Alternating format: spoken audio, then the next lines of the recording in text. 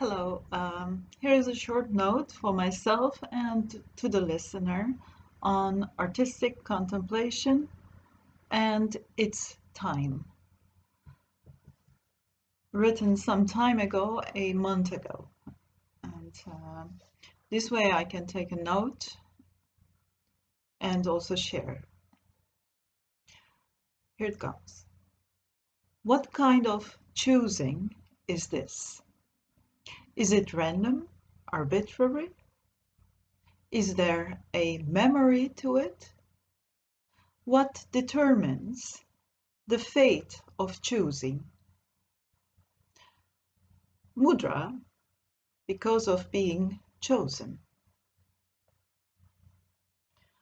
Mudra is a better word here than gesture, mostly a bodily disposition defined as such, could also suffice in terms it universalizes, which is the dimension of the question here. The question that I raised, what kind of choosing is this in the in terms of artistic choosing?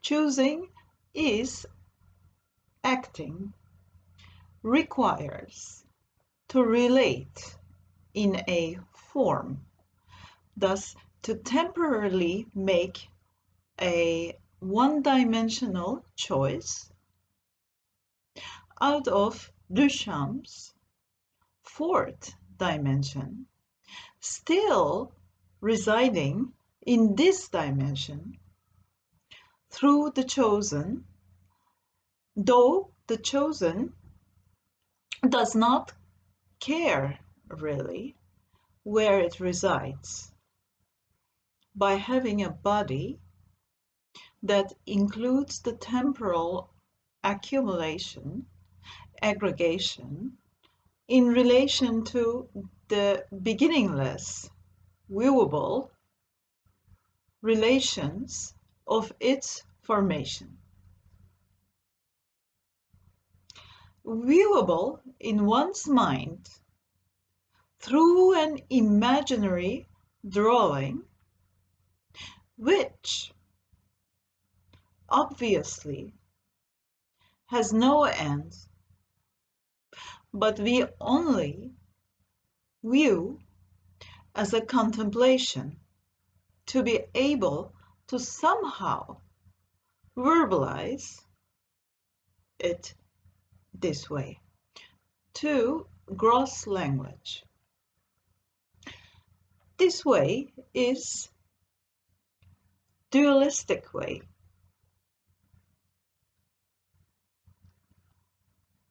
On, by referring this to the levels of speech. Um, dualistic dialogue, for example. A new format in publishing as composing brings us to a possibility in understanding levels of speech, sets a relationship between theater, acting, and composing by understanding nature of choosing, which relates to attempting to understand a logic in choreography in a way brings light to the architecture of improvisation and artistic revelation in such a way that contemplation must be a part of its logic, namely artistic contemplation which requires its own time. So this is a time that knows itself. It is not a clock time, but it's a time of the will of creation coming from the free will that which creates. So it has its own hearing, its own acting, its own contemplation. It is not happening in the realm of the perception of a mundane time. It is more of a time that, that composes, which does not really exist in clock time. So it's not a beginning and ending type of time, but it is time that is beyond time. So not uh, ruled by the time, but uses time aspect creatively as a tool for manifestation, which is composed um, sound and its appearance.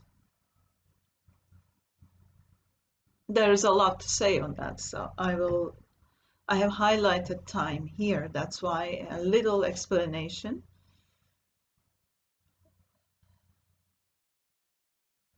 And so therefore the, the involvement, the, the, the way time is being approached to, um, contemplated upon or used by is much like a yogi and an artist can travel likewise to, to different worlds which are not successive, which are not successive.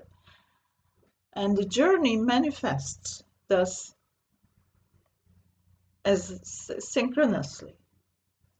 This is also a uh, choosing through, through a choosing. All right. We cannot force an artist to do so. So in a work, you can't teach that. You cannot say, okay, now you sit and do. It's not a practice uh, to achieve something or um, for some type of use. No, it's like life. An artist is not busy with this in daily life of artistic practice. So it is a, that means to say it's not a dualistic uh, practice, it is an embodiment, and it is through that embodiment, uh, it is also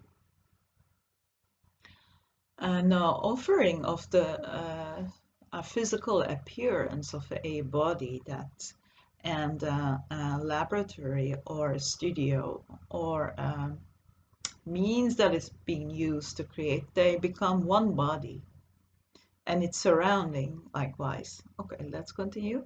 Life is from the spectacle of creation, always to an artist, and thus it is always a research uh, arena. It's a laboratory of practice which leads vertically, making its space.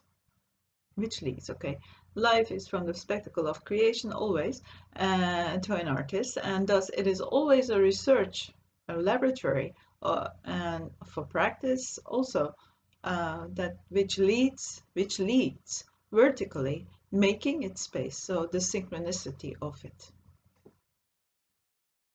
unpronounced embedded in the heart of the artist it is the torchlight in space of endless possibilities the body mind of the artist thus in this process is the only fundamental limit then uh, comes uh, his surrounding environment and sound of choices he makes. Uh, a kind of acting, a kind of act, acting. Uh, that must be as the body resides on the stage, so he must act. That is the reason that it's a kind of acting because it is on a stage of life, let's say. So uh, there's this specific uh, and unique qualities that has made the body and continues making so and um, so taking the part of endless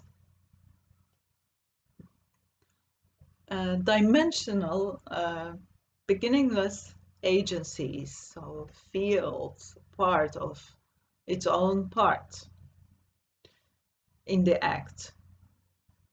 So a must act. Act, but artist, other than materialist, stands an asana in the space of pluridimensions with a sole purpose of composing. Okay? This due to the fact that he has appeared as body and mind. So one's uh, appearance of body and mind, and then what what to do? It's what to do is composing. The truth, it is hard.